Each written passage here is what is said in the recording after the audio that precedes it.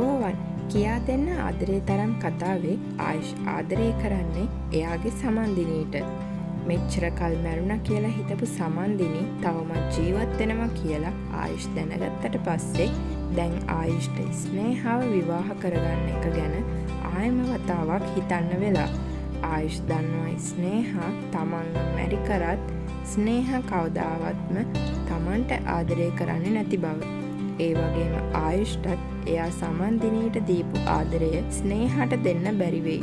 හැමදාමත් සමන්දිනී ගැන හිත හිත විඳවන්න වෙයි. ඉතින් ඉදිරියේදී ආයුෂ්ට මේ ගැන ස්නේහත් එක්ක කතා කරලා ආයුෂ් මේ විවාහය නවත්වයි.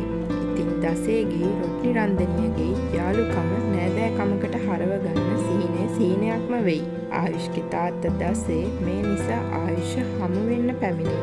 ඉදිරියේදී අපට ආයුෂ්ගේ තාත්ත දසේ පැමිණෙන කොටස් බලාගන්න ලැබේවි. ඉතිං හැමදාමත් වගේ කුතුහලයෙන් පිරුණු මේ කතාවේ ඊළඟ කොටස මොන වගේ වේවිද කියල දැනගන්න අමතක නොකර අප සබස්ක්‍රයිබ් කරන්න. අපට සුබ දවසා.